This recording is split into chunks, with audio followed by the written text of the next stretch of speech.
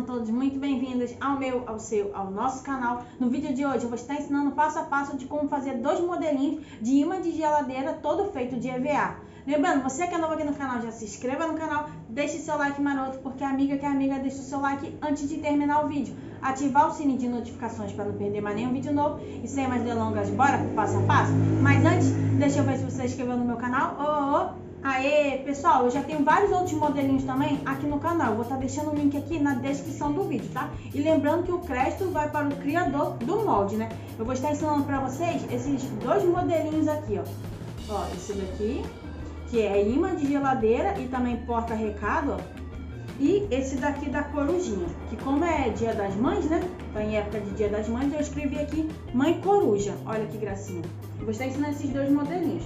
Então vamos começar o passo a passo? Eu já deixei as peças daqui adiantadas para também o vídeo não ficar tão longo, tá? Eu já cortei aqui, ó, a nossa talbinha de carne. A corzinha também é opcional, tá? A altura da nossa talbinha de carne, ela ficou de 17,5, tá? E a largura foi 10 de largura, né? Eu vou deixar ela aqui reservada e vou primeiro vir montando aqui a nossa bonequinha. É, aqui eu vou estar fazendo uma lourinha. Eu já fiz a pintura aqui do rostinho, né, da nossa bonequinha, ó. Eu utilizei a caneta permanente, ó. Essa canetinha aqui de ponta fina, ó. Eu utilizei essa pontinha aqui para fazer o desenho e depois para pintar aquela partezinha preta, eu utilizei essa daqui, ó. Esse lado aqui da ponta grossa, tá? Mas quem não tiver a caneta permanente pode também estar tá usando a tinta PVA, tá bom? Vou vir aqui, ó, Vou colar o narizinho, né? Desliga aí pra mim na internet. É, vou vir colando o narizinho. O narizinho eu cortei um círculo e bolhei ele, eu aqueci na prancha. Vou vir com a minha amiga cola instantânea, fazendo toda a colagem do nosso trabalhinho.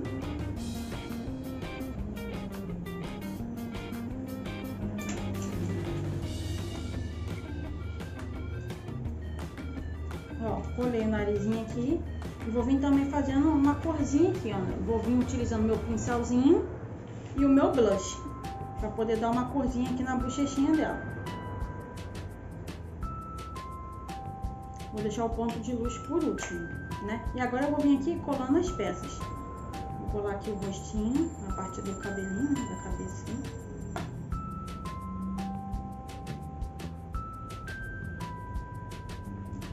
Vem colar na franjinha.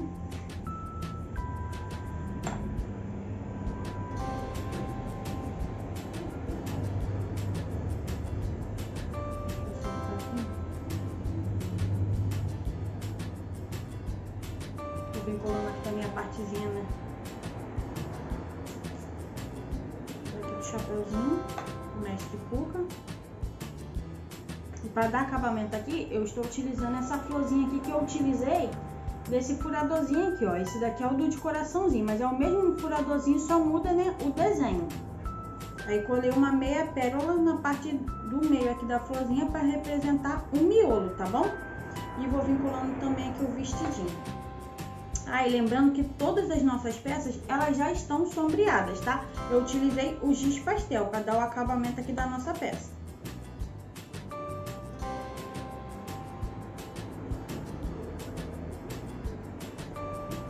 Eu vou estar tá deixando aí também, pessoal, na descrição do vídeo, o link, tá? Dos meus grupos de artesanato do WhatsApp, do Facebook e do Telegram, tá bom? Para quem quiser estar tá entrando lá. Ó. Olha, pessoal, a nossa bonequinha ficou pronta. Ainda falta fazer aqui a, a, o ponto de luz aqui, né? Mas eu vou deixar por último e vou vir colando aqui, ó.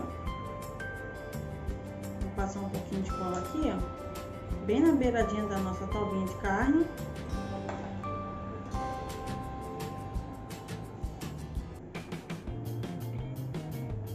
Ó, colei aqui. Aqui também eu vou estar utilizando um pregador, tá bom? Marquei no EVA, na cozinha marrom, né? E vou vir colando aqui, ó essa partezinha aqui.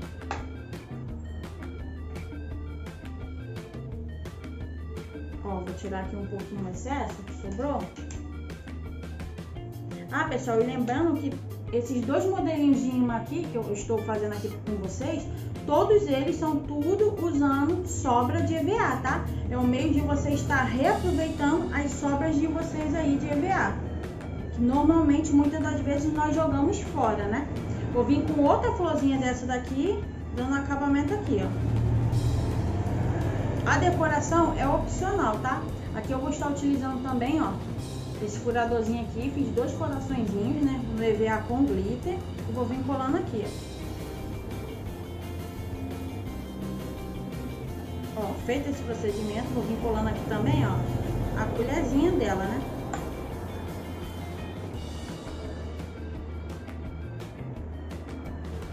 Pessoal, como é que ficou. Ah, e lembrando, para fazer esse furinho aqui, ó, na talbinha de carne, o outro eu não fiz. Esse daqui eu não fiz, mas esse daqui eu resolvi fazer. Eu utilizei o meu furadorzinho, tá? Ó, ficou assim, ó. Nós vamos vir dando um acabamento, até porque o meu EVA aqui, ele é fino, tá? Como eu sempre falo nos meus vídeos, a espessura dele é fina. Então, para ficar mais resistente, eu vou vir dando esse acabamento aqui, ó. Tá até sujinho aqui já, que é branquinho, né? Vou deixar reservado aqui e vou vir montando o outro. Ó, o outro é da corujinha, como eu falei. Eu cortei um coraçãozinho, né? Esse coraçãozinho aqui de altura, né? Ele ficou 7 centímetros e de uma pontinha para a outra ficou 10 centímetros, tá, pessoal? Mas vai estar tá no molde para vocês. Cortei esse outro coraçãozinho menorzinho também, né? E vou vir dando acabamento aqui, ó. Como eu falei, como tá em época de Dia das Mães, aqui eu coloquei mãe coruja, tá? Mas o dizer é opcional, você pode estar tá fazendo aí do jeitinho que você quiser.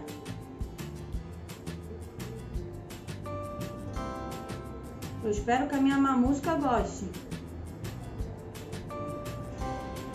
Ó, pessoal, aqui para dar o acabamento, como eu tinha, né, um pouquinho dessas fitas adesiva, né, eu colei aqui, ó, para dar o acabamento. Aí ficou assim, ó.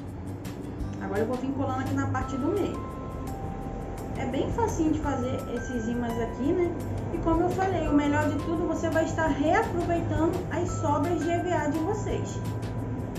Ao invés de jogar fora, você vai estar reutilizando. Aqui, quem quiser, pessoal, essa fitinha aqui, né? A cola dela não é lá essas coisas não, mas se você quiser estar tá reforçando, reforça com a cola instantânea, tá? Eu não vou passar aqui não para poder ser mais rápido. Aqui, na corujinha, eu já fiz a pintura do rostinho, até porque eu já tenho um vídeo aqui no canal onde eu ensino, tá? Então, já trouxe pronto. Mas eu vou deixar para vocês aí na descrição, para quem quiser, né? Tiver alguma dúvida e quiser ir lá dar uma olhadinha. Vou vir aqui também com blush para dar uma corzinha. Aqui eu estou utilizando o blush. Mas quem não tiver, pode estar utilizando até sombra mesmo de maquiagem, batom, o que vocês tiver na casa de vocês, até mesmo tinta, né? Não vai deixar de fazer porque não tem material. Você não desligou a internet, não? Agora eu vou vir colando aqui o olhinho.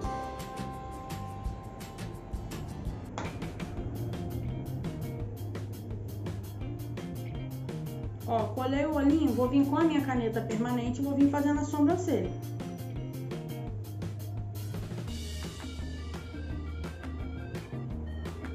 Aqui a minha caneta permanente, ela já está fraca, então vocês não vão conseguir ver direito o risquinho, né? Tem que passar várias vezes para poder ficar mais forte. Mas se a sua caneta aí estiver nova, uma vez só que você passar já vai realçar bastante.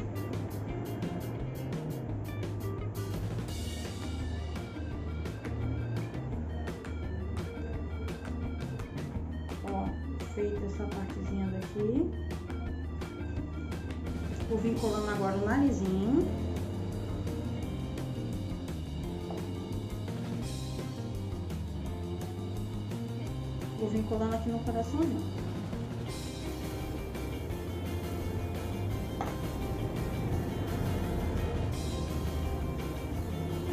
Vou vir colando aqui a asinha também.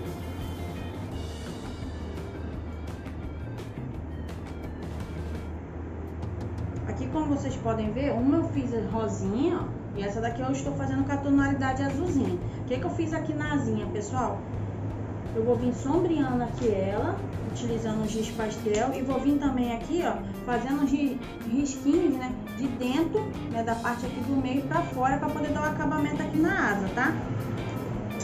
Vem aqui, ó, depois eu passo o giz pastel. Só para poder realçar também, né? Ó, só vem passando aqui em volta em volta. Aqui, como eu falei, eu estou utilizando o giz pastel. Quem não tiver o giz pastel, né, você pode também estar tá utilizando a tinta PVA ou tinta de tecido, tá? Ela vai ficar assim. Dá pra ver? Esse efeitinho aqui. Agora eu vou passar a cola aqui.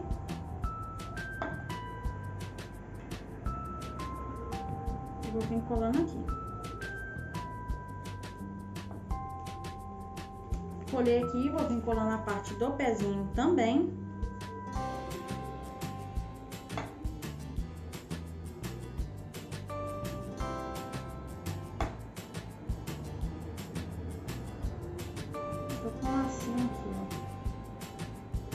Colando também. Esse lacinho aqui, pessoal, eu, eu já comprei pronto, tá? Ele é de fita de cetim. Então, eu vou vir colando aqui, ó. colar o lacinho aqui. E vou vir colando também uma meia pérola para poder dar acabamento aqui na parte do meio do lacinho. Mas toda a decoração, como eu sempre falo, é opcional, tá? Vocês podem estar utilizando o que vocês têm na casa de vocês. Aí, o que, que eu vou fazer aqui agora, pessoal? Olha como é que ficou. Olha como é que ficou. Ficou assim, né? Aí, para dar o acabamento aqui, para não ficar desse jeito assim atrás, eu vou vir colando no EVA na cor preta. Aí vou colar no, na cor preta, vou cortar todo o excesso, deixando uma pequena margem já volto mostrando para vocês como é que ficou o resultado. Ó, pessoal, voltando aqui, ó, eu já forrei a parte de trás, né? E forrei esse daqui também. Como vocês podem ver, esse daqui eu fiz um pouquinho diferente desse. Esse daqui eu só forrei a, a talvinha de carne. Esse daqui eu já forrei também com a bonequinha, né? Aí vocês veem aí, ó, olha a parte de trás, olha a parte da frente, como é que ficou, né? Qual vocês vão preferir mais, né? Qual que vocês vão gostar mais, né? Fica essa opção aí. Aí, o que, que acontece, pessoal? Para dar esse acabamento aqui, eu utilizei essa minha tesoura aqui escalope, tá? Ó, eu utilizei ela, ó, para poder dar esse corte aqui, para dar esse acabamento. Né? E agora aqui, eu vou vir aqui fazendo o ponto de luz da nossa peça. Isso daqui também faz toda a diferença, né? Vou vir aqui utilizando a tinta PVA. Se você não tiver, pode estar utilizando também a tinta de tecido, tá? E esse meu pinta-bolinha aqui, ó. Vim fazendo aqui o ponto de luz da nossa bonequinha.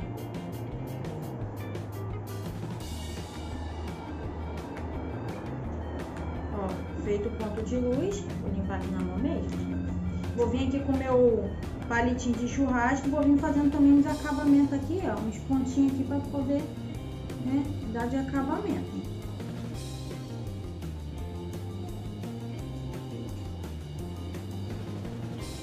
Ó, a mesma coisa na corujinha.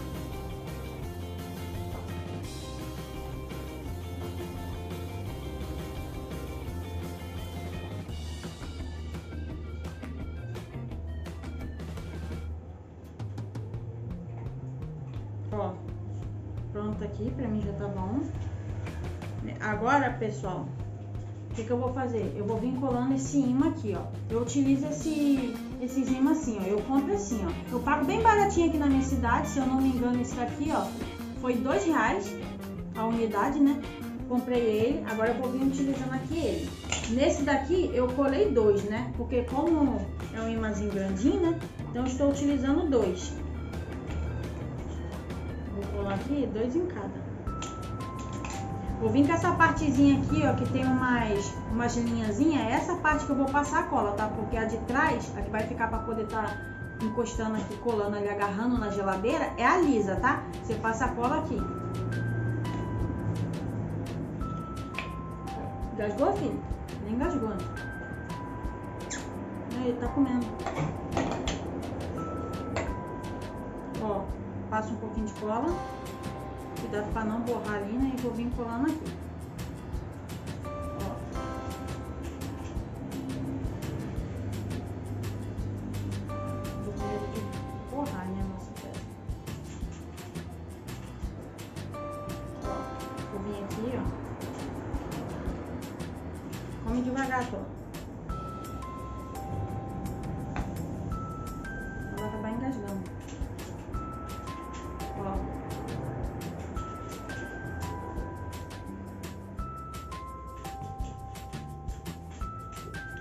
Esses dois pedacinhos de imã aqui tá pronto o nosso trabalhinho. Deixa aqui.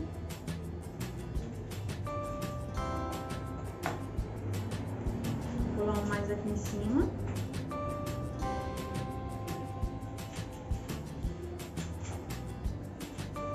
Deixa nos comentários o que vocês acharam do trabalhinho de hoje. Como eu falei, eu já tenho vários outros modelinhos, né? Pra quem tá aí com muita sobra de EVA, né? E tá com pena de estar tá jogando fora, dá para estar tá reaproveitando. Dá para fazer vários modelinhos de imã, chaveirinho, né? Dá para fazer muita coisa com as sobras de EVA. Ó, pessoal, ficou pronto o nosso trabalhinho, né? O nosso imã de geladeira, todo feito de sobra de EVA. Olha que amorzinho. Primeiro eu vou vir mostrando aqui pra vocês as corujinhas. Olha que gracinha que ficou, olha. Olha que mimo. Aí, como eu falei, ali você pode estar tá colocando a frase que você quiser. Eu coloquei mamãe coruja. Mãe coruja, né? Não foi nem mamãe, foi mãe. Olha que gracinha. Dá pra ver bem os dois? Eu fiz esses dois. E agora eu fiz esse daqui também, ó. Esse daqui, além de imã de geladeira, como eu falei, é um porta-recado. Olha que gracinha, que mimo. Eu espero muito que vocês tenham gostado do nosso trabalhinho de hoje. Eu fiz com muito carinho para vocês. Quem gostar, não esqueça de deixar seu like, que isso ajuda muito aí com o engajamento dos nossos vídeos. O YouTube passa a entregar nossos vídeos para mais e mais pessoas. Você que é novo ou nova aqui no nosso cantinho, seja muito bem-vindo, venha fazer parte dessa família. Deixe nos comentários o que vocês acharam dessa ideia e compartilhe com os amigos essa ideia. Eu vou ficando por aqui e até o próximo vídeo, se Deus quiser. Tchau!